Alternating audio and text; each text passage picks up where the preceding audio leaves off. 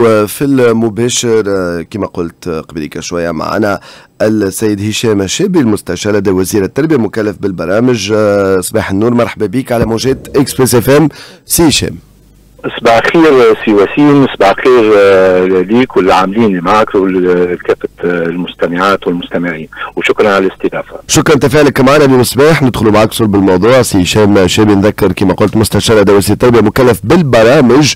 باش نرجع على موضوع الاستشارة الوطنية التعليم الأساسي. ساعة قبل ما نحكيو على الاستشارة وشنو اللي يتبدل وكيفاش يتبدل آه، آه، اليوم فماش تقييم صاير فماش معناتها كيفاش آه، تشوفوا اليوم كمختصين أنتم كوزارة منظومة التعليم الأساسي. شنو آه، النقائص نتاعها شنو اللي ماشي؟ شنو اللي مش ماشي؟ والله آه، سؤال ضروري كل حديث على منظومة التربية باش نجموا نبنيه لازمنا نعرفوا شنو اللي عندنا وشو وين إحنا آه، بالنسبة للأهداف اللي إحنا ضبطناها وبالنسبة للمنظومات الأخرى باش نجموا نقدموا ولا ما نقدموش. آه، إحنا في تونس للأسف أنه ما ماناش في ضمن التقييمات الدولية آه، كما بيزا آه، وتيمز لكن آه، عندنا جملة من التقييمات اللي تخلينا عندنا علاش نبنيو.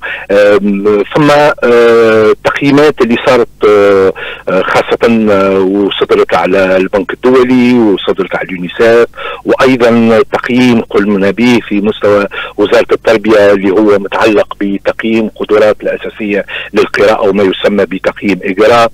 التقييمات هذه الكل تعطينا حاجة مهمة جدا اللي لازمنا ننتبهوا لها قبل كل شيء أنه إحنا ما, ما هو مطالبة به المدرسة التونسية بالأساس هو تعليم لوليداتنا وصغيراتنا. القراءة هذا في آه وهن كبير ولا أشد دليل على ذلك. ما صرح به ما صدر عن البنك الدولي في تقريره وما سمي بفقر التعلم أحنا نمثلوا 65% من النسبة هذه.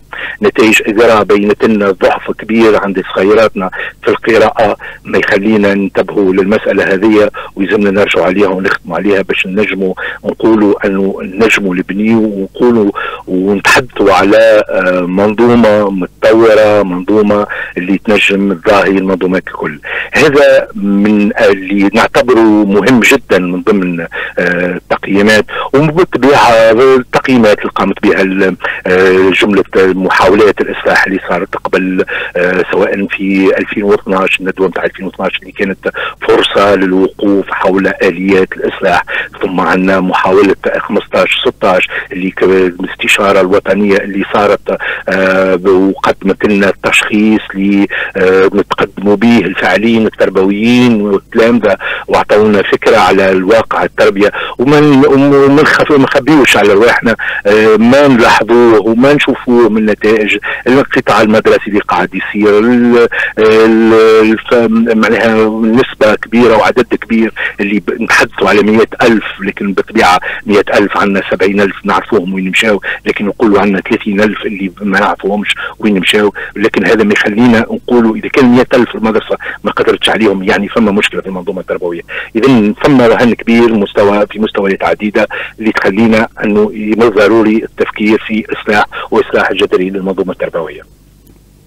بالنسبة لل اليوم تعرف معناتها أكيد ديما الحديث كل ما حتى ناس تجتمع تقعد مع بعضها مهما كانت ال ال الظروف وغيره معناتها ديما فما كديبا كي نحكيو التعليم بين تقري في الخاص وتقري في العمومي والنيفو في العمومي والنيفو في الخاص. وديما تسمع لي بونز ارغيومون منا ومنا. معناتها ما, ما سي با ترونشي معناتها. واليوم بالحق ممكن ما نجموش نقولوا. فما تحس أكثر لوم وبرشا ناس تغادر ولكن الأرقام مسائل تونيه معناتها. كان نسرك اليوم على الارقام تو نشوفوا معناتها بين قداش يقراو في التعليم العمومي قداش يقراو في التعليم الخاص. فكيفاش اليوم المواطن التونسي ينجم يعاود آه، يرجع يلقى قاعدة الناس ديما تحكي على قبل. ما نقولش حتى نرجعوا كما قبل. كيفاش؟ يكون عندنا تعليم يغزر الغدوة للمستقبل معناتها ويكون قد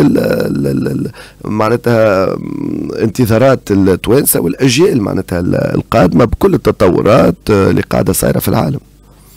هذا طموحنا الناس الكل وهذا اللي نحب عليه الناس الكل منظومتنا التربوية التونسية. نحب نقول حاجة مهمة ومهمه باشا.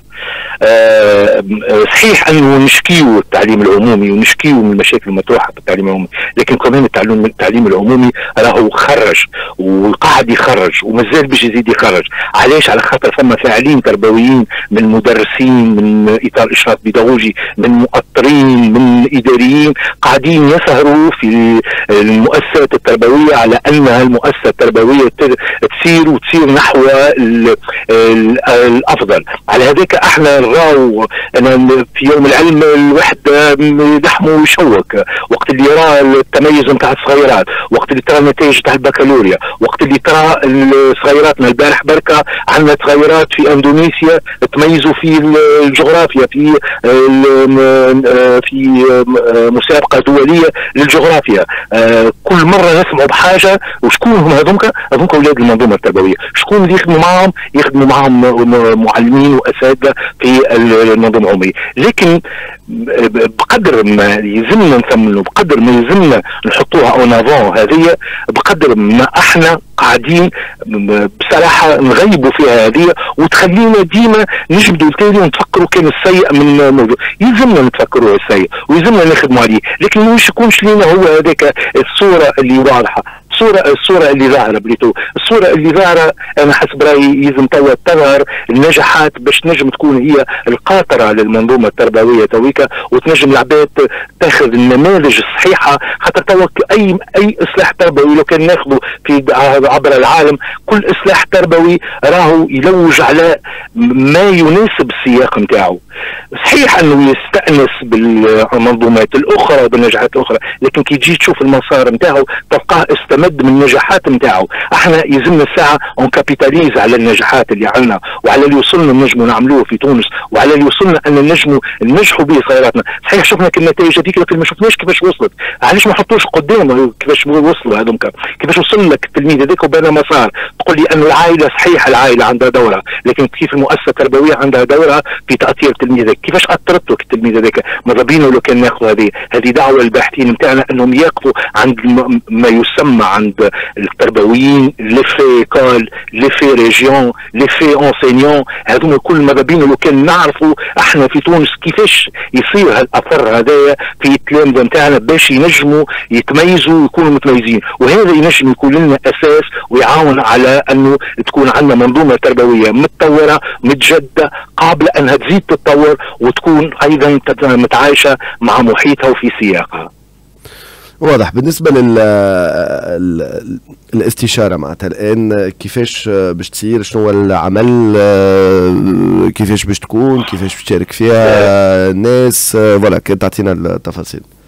آه بالنسبة للاستشارة أول شيء الساعة نحب نذكر بالهدف نتاعها آه والهدف الأساسي نجم نقولوا اللي هو آه بالأساس هو ضبط جملة الملامح والتوجهات اللي يمكن تكون هي البصمة للمستقبل التربية والتعليم النظامي وغير النظامي في مختلف مراحله الاستشارة هذه من الضروري آه آه انها آه بالأساس هي متوجهة لمختلف شرائح المجتمع. هي تهدف كما قلت للتعرف على آراء مختلفة من الداخلين تلاميذ طلبة متكونين مدرسين أولياء مهتمين بالشأن التربوي ناس باحثين كل ما إنسان يرى في نفسه أنه معني بالشأن التربوي هو مدعو للمشاركة في هذه الاستشارة. وهذا باش يساعد على تحديد قلنا التوجهات العامة المستقبلية وأيضا كيف يمكن أن نكرس ما نحن نعاني منه وما تظهره لنا الخريطة بعد كل نتائج بكالوريا مبدأ تكافؤ الفرص. وهنا كيفاش أيضا نجم نقضي على ما يسمى بالأمية اللي قاعدة تصير في في بلادنا وكيفاش نجم نحافظوا على بليتو نرسيو مبدأ التعلم مدى الحياة كيفاش نجموا نرفعوا من كفاءات خريجين نتاعنا مختلف الخريجين هذوما. اذا الاستشارة هي آه، تتوجه نحو كل الفاعلين الناس الكل مدعوه للمشاركة فيها باش نجموا نرسموا مصالح ملامح المنظومة التربوية. وهذا باش يكون دعامة للمجلس الأعلى للتربية واللي يصدر في الفصل 135 من الدستور واللي يقول في نصه يتولى المجلس الأعلى للتربية والتعليم إبداء الرأي في الخطط الوطنية الكبرى في مجال التربية والتعليم والبحث العلمي والتكوين المهني وآفاق التشغيل. لاحظوا لهنا أنه سيبدي الرأي في الخطط الوطنية. ومين باش تجي هالخطط الوطنية إذا كان ما نسمعوش وما يكونش؟ بما أن إحنا بديهي جدا في تونس انه نعرفوه وينجم يكون من الأسباب اللي اخر هو انه التعليم التربية والتعليم هو شأن مجتمعي. بما أنه شأن مجتمعي هو يقدم عن طريق استشارة جملة مقترحاته وفي ضوء تنجم تبنى والخطط والمجلس الأعلى للتربية يمكن أن يبدي رايه في هذه الخطط. هل الاستشارة هذه ما هيش معناها آه، تنجز من قبل آه، وزارة على ولا طرف حسب هي وزارة هي استشارة شاركت فيها المختلف آه، وزارات المعنية مباشرة واللي نجم نقول أنا ونجزم انه التربيه هي شأن مختلف الوزارات لكن اللي شاركوا مباشرة في هذا العمل بالطبيعه وزارة التربية وزارة التعليم العالي والبحث العلمي وزارة التشغيل والتكوين وزارة الأسرة والمرأة والطفولة وكبار السن الشؤون الدينية الشباب والرياضة والشؤون الثقافية. وكان الاشتغال هنا أكبر حاجة يمكن الخروج بها من هالعمل هذا أنه هذه لأول مرة تلتقي الوزارات هذه باش تحكي في نفس المسألة اللي الناس الكل تعالج فيها من جهتها دون أنها تعرف الأخرى شنو وقع. الجهه الطرف الآخر قاعد يقوم به يعني ثم بين الأشخاص هنالك تواصل لكن بين المؤسسات يكون التواصل غير منظم ربما يكون المجلس الأعلى للتربية فرصة لتوحيد هذه الرؤى ويكون كلها لفائده المنظومة التربوية التونسية. والاستشارة تساهم من خلال الأسئلة التي التي ستطرح في آه، آه، وضع ملامح لهذه آه، الخطط التي يمكن أن توضع لاستصلاح تربوي مهم. واضح. اذا المرحلة القادمة شيء المرحلة القادمة؟ نذكر مستمعينا بالطبيعه المرحلة القادمة المرحلة القادمة آه، من المفروض أنه ستوضع جملة الأسئلة التي سيتم المسابقه عليها من قبل اللجنة ومن قبل الإدارة وكل المسؤولين. آه، وتوضع على منصة منصة رقمية. هذه المنصة الرقمية من المفترض 15 سبتمبر تفتح للجميع والجميع يتم آه، الدخول إلى هذه آه، الاستشارة. آه، نتصور أنه ليس للكل الإمكانية للإجابة عن كل الأسئلة المطروحة. لكن الكل مدعوين للإجابة على الأسئلة التي يرى أنه هو آه، معني بها وسيجيب ويقدم فيها الإضافة. بعد ذلك باش تصير تحليل مختلف هذه النتائج تحليل علمي اللي دبر فيها نحب نعطي توصيف لهالأسئلة. هنالك أسئلة مغلقة وهنالك أسئلة مفتوحة وهذه الأسئلة المفتوحة هي التي تفسح المجال للمخت... للمشاركين لتقديم مقترحاتهم. وإن شاء الله نوصلوا عن ثلاثة أسئلة مهمين نحب نوصلوا بهم في الأخير. ماذا يمكن أن نحافظ عليه من هذه المنظومة؟ هذه المنظومة التربوية ماذا يمكن أن نغير؟ والأهم من هذا كل ما الذي يمكن أن نبدعه؟ والذي نبدعه هو في علاقة بسياقنا والذي يمكن أن يقدم الإضافة الحقيقية لمنظومتنا التربوية. بالنسبة لل للإصلاح دوك كما قلت هو التصريحات كانت لرئيس الجمهورية فيما يخص آه، إصلاح منظومة التعليم الأساسي ولكن اليوم معناتها الحديث كما قلت معناتها الناس كل ماذا بها آه، نتصور اليوم مع تلقى في التعليم العمومي معناتها المستوى اللي تنتظروا آه، حاولنا نسمعوا منكم معناتها اليوم نظرتكم في الوزارة شنو الأسباب شنو اليوم اللي ماشي شنو اللي مش ماشي في المنظومة. آه، وقتاش كيفاش الاستشارة آه، هذه آه، باش تكون فوالا شنو المواطنين كيفاش ينجموا يشاركوا كيفاش إن شاء الله باش تكون نهار 15 سبتمبر الانطلاق نتاعها كيف كما اعلن عليه السيد رئيس الجمهورية وإن شاء الله باش تكون على منصة ويتم التعريف بها ونكون ونحاول معناها وتوفر كل الظروف والإمكانيات لمشاركة كل الأطراف باش ينجموا يكونوا يقدموا ويجاوبوا على الأسئلة ويقدموا جملة المقترحات اللي هم يروها نجم تقدم بالمنظومة التربوية. نهار 15 سبتمبر هو موعد إطلاق هذه الاستشارة ومن هنا من من الآن إلى ذلك الوقت هناك استعدادات حثيثة لوضع هذه الأسئلة على هذه المنصة وتكون جاهزة للنشر للعموم. وكما قلت لك بعد الاستشارة هذيك باش تكون عندنا تحليل لمختلف هذه النتائج وتقرير يقدم إلى المجلس الأعلى للتربيه المنتظر شكرا شكرا لك نذكر يعيشك وشكرا على الاستضافة وبالتوفيق لكم. شكرا لك. السيد هشام الشابي المستشار لدى وزير التربية المكلف بالبرامج حول الاستشارة الوطنية للتعليم الاساسي rapidement سي. هشام juste هذا بالنسبة لصحيح منظومة. التحضيرات بالنسبة للغونتري كل شيء في الموعد خاطر نعرفوا كل مرة نسمعوا بعد نقسم ساده نقسم العودة المدرسية تم الانطلاق في الأعداد لها منذ مارس 2023 الآن اللجان الجهوية بطبيعة تبعثت لجنة وطنية تشرف على التنسيق لمختلف بين مختلف المندوبيات عندنا ديما الإشكال نتاع الأهرامات. هذا تم إنجازه منذ الأسبوع الفارط تم ضبط الأهرامات في مختلف المؤسسات التربوية يقولوا الأهرامات. يعني يقولوا شنو الأقسام وشنو عدد المدرسين وكل ما يهم الرجوع الفعلي العودة المدرسية.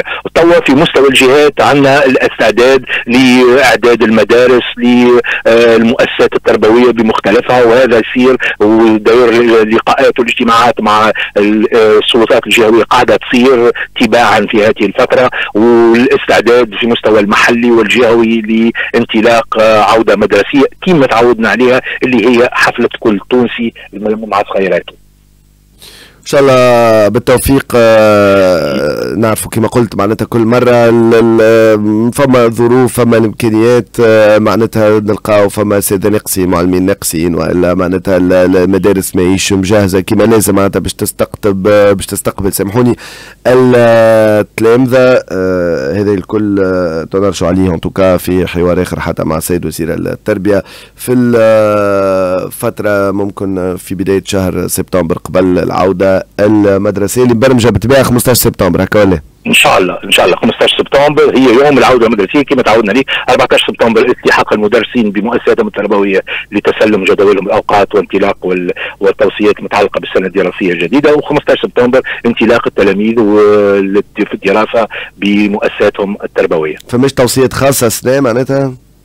والله إن شاء الله تو تصدر توصيات اللي آه، في شكل منشور عودة مدرسية. إن شاء الله نعلمكم به في الإبان واللي يسطر مختلف التوجهات اللي باش تشتغل عليها الوزارة. في انتظار آه، وضع أو بحث المجلس الاعلى للتربيه والانطلاق في الإصلاح التربوي آه،